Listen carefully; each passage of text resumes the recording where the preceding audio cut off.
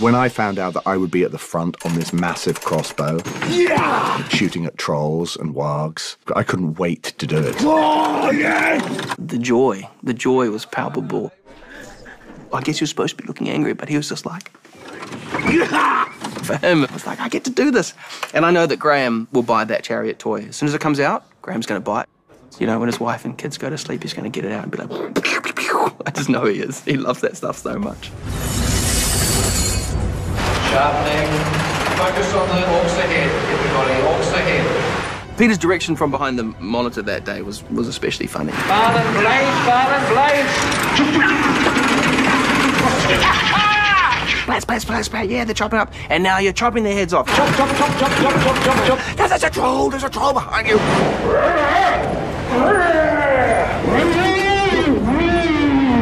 Coming down, smashing, smashing ice. It's um, his enthusiasm uh, rubs off, you know. that was good fun.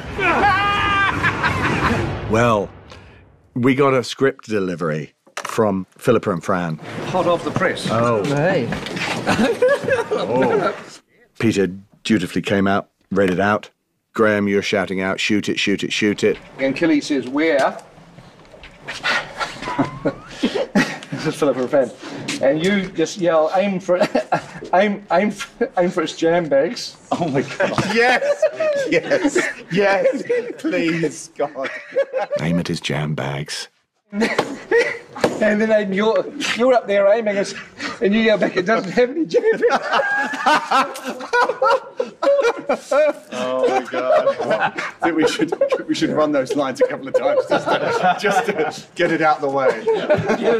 Action. Come on, shoot it! Where? Enemy's jump bags! It doesn't have any jump bags! Okay, let's go. Go. Lunchtime. Going to lunch. I go over to Philippa, who's having lunch, sit down, and the first thing I say is, fantastic. Love that line. Oh, which line's that, darling? The jam bags. Aim at his jam bags. Genius. And she said, jam bags? It's yam bags. Wow. Great.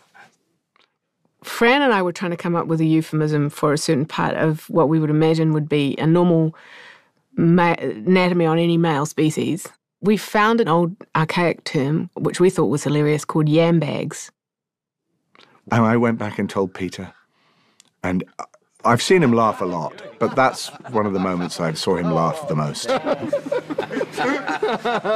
he could not stop laughing. He thought this was fantastic.